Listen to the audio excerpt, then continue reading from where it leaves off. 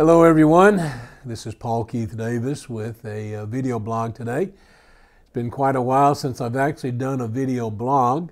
I have done quite a number of podcasts. That's been our focus, at least for me. And Amy and I, of course, have done uh, our live table meetings on Sunday evening. So we've done quite a bit of that kind of media releases, but haven't done a blog in a couple of months. So I'm happy to come to you today and share a little prophetic message I've been given. The focus of what I've been sharing on the podcast over, uh, over the last several months has been the book of Revelation. I did 20 podcasts on the seven thunders, and I won't go too much into that, but uh, except to say what we do know about the seven thunders, the effect they will have, the seven thunders of Revelation 10 when the Lord sets his feet on the land and the sea like pillars of fire. Oh, what a day. And he has the seven sealed book that is now open, the open scroll. And there's a cry, there shall be delay no longer, and the mysteries are going to be revealed. And John said he heard the seven thunders utter their voices, but was told not to write them, but to seal them up. Well, the day has come, I believe we are approaching the time when those seven thunders are going to utter forth those mysteries of the kingdom that will be tremendous revelatory truth that will be found in the Word of God to prepare us for the coming of the Lord. I believe we have crossed a threshold in the timeline of God. You know, Israel, the fig tree, putting forth her buds way back in 1948 started the clock ticking. And of course, 1967, there was an even greater emphasis as, it, as the nation of Israel was being reborn, a prophetic fulfillment that only God could have pulled off. But that was our indicator that things are moving in that direction. Now, here we are, you know, well into the 21st century, and we are very close, I believe, to this moment of human history when the Lord is going to begin to fulfill what I have been teaching lately is his Omega ministry. I did 20 podcasts um, on the seven thunders, and I've actually recorded 33 total. So the last 13 podcasts um, have been on Revelation chapter 1, this amazing chapter of the Bible where we see the Lord in His glory. He's resurrected from the dead. He ascends to the Father. He receives a new name. And John, this man that was the most familiar with the Lord clearly, is caught up to heaven. He said, I was in the Spirit on the Lord's day. That phrase, on the Lord's day, is very important. I want to lay a little foundation here before I share a message, a little message that I feel like the Lord has given us for right now. But he was in the Spirit, and of course, he saw the Lord standing among the seven golden lampstands, heard the Lord's voice behind him like the sound of many waters. And when John turned to see, there was the Lord standing there in the sevenfold revelation of his glory. His hair as white as wool, like snow, his face uh, shining like the sun at noonday. His eyes were like flames of fire. Out of his mouth came a sharp two edged sword, and his voice was like the sound of many waters. He was clothed in a white robe with a golden sash, and his feet looked like burnished bronze when it's been made to glow in a furnace. Can you imagine the sight? And even, even John, this man that laid his head on the Lord's breast, fell to the ground like a dead man. Oh my goodness. In that same chapter, the Lord says, I am the Alpha and the Omega. Very important phrase the Alpha and the Omega, the beginning and the end. The one who was and is and is to come, the Almighty. I've taken that one scripture and I've built around it probably six or seven podcasts that you can listen to if you like on the White Dove Ministries app and also on our table meetings. But for the purpose of this blog, I want to talk just a little bit about this omega time. There's the alpha time, the omega time, the beginning and the end. You know, there's multiple ways we can apply that. You know, we can look at the early church, the first century church, as an omega church, and we can look at the last day church as, I'm sorry, the first age alpha church, the last days omega. Uh, you could even look at that as Genesis, Alpha, the end of the age when the Lord returns for his bride as the Omega. However, you want to apply that, I'm, I'm going to kind of work with that phrase Alpha and Omega in the context of the church age. With the early church being the Alpha ministry, the end of the age, the generation in which we're living right now, the timeline we have entered being the Omega the Omega, and I believe the Omega can take us right into the millennial age, the kingdom age. The Omega ministry, you know, we see this, this paradigm, we see this context that's given to us in the scriptures where it says, um, the glory of the latter house will be greater than the former, okay? Uh, in the context of that phrase, that the glory of the Omega ministry will be even greater than the Alpha ministry. The, the, the, um, the, the former rain and the latter rain, Alpha and Omega. The latter rain, as we know agriculturally, is seven times greater than the former rain. So, from this context, we can come to the conclusion that what the Lord does at the end of the age will be even greater than what He did at the beginning. I believe the scriptures support that wholeheartedly. The Lord's not going to let the devil have the last word. Oh, I know there's darkness out there, and it's going to get darker in the world. But I tell you what, the Lord is about to reveal Himself. He's about to make a statement. the Lord is going to end this age with an exclamation mark. There will be a revelation of His glory. He is going to demonstrate His resurrection power. I believe it with all of my heart.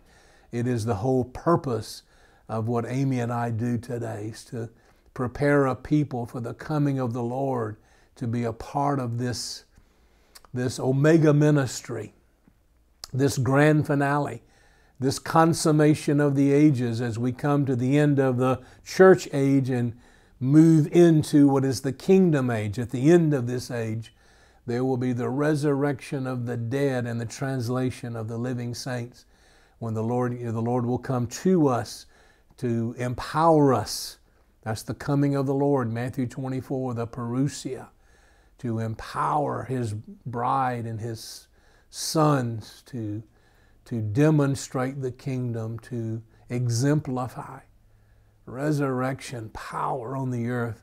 Jesus said in Matthew 13, the end of the age is the harvest. And it will be with a grand display of the glory and power of God. I believe it with every ounce of my being.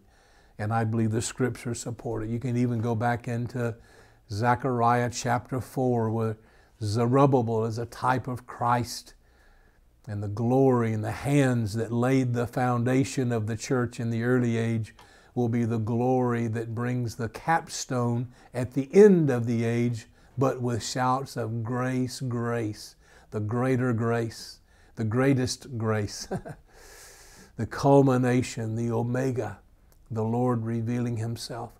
There's so many things I'd love to share right now on this point, but for the sake of time, I would just encourage you to go back and listen to the podcast. But the Lord has a new name, the Bible tells us. And when you overcome the systems of this world, the beast system and the number of his name, you overcome that false counterfeit religious system. The Lord says he will write his name upon you, his new name. Revelation 3:12. And I believe that new name gives us access to great end of the age privileges. You know, back in Daniel, when uh, he received this great revelation from Gabriel, Daniel chapter 12, he talks about it. But it talks about the, these revelations being concealed until the time of the end, the time of Omega the Omega time, the Omega time, the end of the age, these greatest revelations will be revealed and all that was ordained to be released to humanity before the coming of the Lord will be unleashed on the earth to empower the people to wash the bride. The bride will make herself ready in the undiluted revelation of the Lord Jesus Christ. And she will be presented to him in glory and honor. She's not going to be some weak, sick, over, sick, overcome bride. She will be victorious. She will be an overcomer. She will be clothed in garments of glory. And the Lord Himself will come into her and in fullness, not just earnest, as Paul says in Ephesians 2, but in fullness to display himself to planet Earth and bring in this great harvest. That's where I believe we are. That's just a little quick synopsis of where we are. Now, with that foundation laid, I want to just talk very quickly, you know, about something. I've been meditating on Ezekiel 36. And of course, without me having to take a lot of time, people that watch us know that there are dual applications to these prophetic scriptures, you know, when it, as it relates to Israel as a nation and the, uh, that we are the Israel of God, as Paul says. He is a Jew who is one inwardly, and circumcision is that which is of the heart by the Spirit. And if you are in Christ, you are the seed of Abraham. We are the Israel of God, the book of Galatians. So we know there is this application that applies to us as well. But here is the message I feel like the Lord is, is saying, at least to me, I believe it has corporate application as well as we move into this new season. I'm going to start with verse 23 first, out of Ezekiel 36. And it says, And I will vindicate the holiness of my great name. Well, let me go back. I'm going to go start at verse 22. Therefore, say to the house of Israel, Thus saith the Lord. Oh, I, I love that phrase when it's really Him. It is not for your sake, O house of Israel, that I'm about to act, but for the sake of my holy name. Okay, I'm just going to pause there and remember I, I, may, I mentioned that after the resurrection from the dead, the, in his glory and his power and majesty. He ascends to the right hand of the Father. This amazing Messiah, this God that left the glory that he had with the Father to become a man, to live the life of a human being, but on the inside of that fleshly body was the glory and attributes and invisible nature, the invisible attributes and the divine nature of God. He was God, but he was also in human form and he suffered. He became hungry and all the various things that we experience as human beings, being touched by the feeling of our infirmities, he says, and so forth. And so he, uh, he allowed himself to be butchered at the hands of his own creation. Then he ascends to the Father after his resurrection and he receives a new name. So we have the name of Yeshua, Messiah, the Lord Jesus Christ, but then he has a new name and that new name is written upon those that overcome. Revelation 3:12. All right, now, with that in mind, follow this, this verse. It is not for your sake, O, o house of Israel, that I'm about to act, but for the sake of my holy name, which you have profaned among the nations to which you came. And I will vindicate the holiness of my great name, which has been profaned among the nations, and which you have profaned among them. I, I believe we as a corporate church and all the various denominations and organizations and belief structures and, and all the variety of things that have gone on, we haven't done a very good job of representing the Lord. Let's just be honest about it. We're not in great shape right now on, as a corporate level. There might be a remnant of people scattered throughout that are living in some measure of the Lord's uh, glory and so forth, but it's not on a corporate level. We have to be honest and do a, an accurate evaluation. The corporate church is not in good shape. There is a lot of apostasy. There is a lot of unbelief. There is a lot of corruption. There is a lot of idolatry. Don't be mad at me, please. I'm just trying to get us to the place where those things come out of us. It says, which you have profaned among them, and the nations will know that I am the Lord. Let me go back and reread verse 23 without the commentary. And I will vindicate the holiness of my great name, which has been profaned among the nations, and which you have profaned among them. And the nations will know that I am the Lord, declares the Lord God, when through you I vindicate my holiness before their eyes. Through you, I vindicate my holiness. Now, I know there's many names the Lord has been given, but those names are captured in the Lord Jesus Christ, Yeshua Messiah, and now we know He has a new name that is written upon these overcomers. And in that name is the life of God. In that name is the holiness of God. And He said, I'm going to display the holiness of my name one more time on planet Earth, and I'm going to do it through you. Now, my deal is, Lord, let me be a part of it. Let me be a part of it. And I believe right now people are either being qualified or disqualified to be a part of that. You know, back in Numbers chapter 14, we read about Israel coming out of Egypt, and there was a separation of those that qualified to go into this great promise and those that were disqualified. That's the only way to look at it. But it says in Numbers 14, I think around maybe verse 24 or so, that Caleb qualified he qualified to vindicate the holiness of God's name, let's say, because he had a different spirit. He had a different spirit. You come back and read it for yourself. I'm just kind of referencing that right now for the sake of time. And what I have heard the Lord saying is that as we repent, which, you know, I've been doing a lot of myself, Lord, whatever is in my life, that might stand in the way of what's going on, please help me. I'm sorry. Forgive me. My, my wife and I both, she have been praying this prayer. Forgive me. And this is what I believe the Lord is going to do. I will sprinkle clean water upon you. Those that are crying out to be a part of this great display of the holiness of the Lord's name. Those that desire from the depths of their soul from an honest and sincere heart, not for selfish motivation, but from an honest and sincere heart, desiring to see the Lord get the full measure of His reward. And we cry out for that. The Lord says, Okay, I'm going to sprinkle clean water upon you. I'm going to wash away all the filth. Let me just read it. I will sprinkle clean water on you, and you will be clean from all your uncleanness and from all of your idols I will cleanse you. And I will give you a new heart and a new spirit I will put within you. And I will remove the heart of stone from your flesh and give you a heart of flesh. Listen to this. And I will put my spirit within you. And I will cause you, cause you to walk according to my statutes then you will be careful to observe my ways. Oh my goodness. Okay.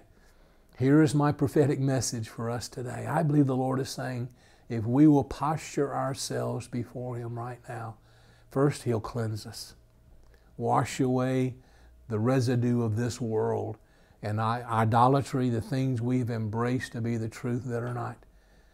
And He will then give us a new heart and a new spirit. And this was the message the Lord spoke to me last week when I began to do the table meeting, our table meeting on Sunday evening. He said, Tell the people if they'll cry out, I'll take away the spirit of fear and give them a spirit of courage. I'll take away the spirit of anxiety and I'll give them a spirit of peace. I'll, I'll remove from them the spirit of heaviness and I'll put upon them the spirit of joy. I believe we can have a transference of that we can get a new spirit. You know, I, love it when they say, well, he has a real spirit of courage. or, or, you know, there's, there's, the Lord is the one. It actually says this in Isaiah 42. I had a big angel. Uh, I don't mean to make light of that, but every time I think about this experience, it just, I remember it. I can still see it. It happened in 1992. But this really big angelic created being stood next to my chair and gave me this passage. But says Isaiah 42 5, Thus says God, the Lord, who created the heavens and stretched them out, who spread out the earth and its offspring, who gives breath to the people on it and spirit to those who walk in it. He gives us our spirit. what makes us who we are, and and our you know it it, it, it influences how we approach life. It, it influences everything that we do. You know the good news is He can take out the uh, spirit in us that we may have lived with our entire lives and replace it with a spirit that is conducent to Himself. And I believe that's what's going on right now. He says, I will give you a new heart and a new spirit. Now, I realize people use this when we get saved, we get, you know, we, we're born again, and all old things pass away, everything becomes new. But if you and I are honest with ourselves, there are Christians that are born again, but we have still dealt with issues of fear or anxiety or oppression or whatever the course the case may be. And I felt like the Lord spoke to me last week and He said, Tell them if they'll cry out, I'll, I'll give them a spirit of courage. I'll give them a spirit of boldness. I'll even give them a spirit of faith, a spirit of revelation, these things that we need to move into this new season. So that's my prophetic message for you in this particular video blog that He is about to do something. We only have, I don't know how many years we've got left, but I believe we have entered that span of time when the Lord is revealing Himself as the Omega.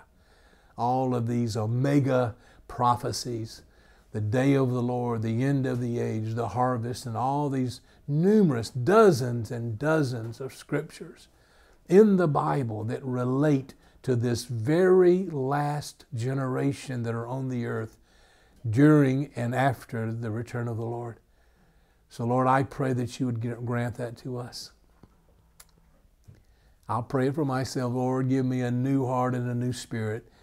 You know, I've even, the Lord has been dealing with my physical heart and He's also dealing with our spiritual heart. Lord, burn away, if you will, all of the residual influences of this world. Burn away any characteristics or attributes that are not consistent with the nature and character of God and give us a new heart and a new spirit. A spirit like you gave Caleb, a, a man with a different spirit. He wasn't influenced by the unbelief of those around him. He was not intimidated. He was not intimidated by, by others that wanted to go back into Egypt or were unwilling to stand on the Word of God. He, he, he made his stand on God's word because he had a different spirit. Give us a spirit like that. That's my prayer, Lord. And I pray it for everyone who is watching this blog. Grant that to us by your grace. I ask in the name of the Lord Jesus Christ. Amen and amen.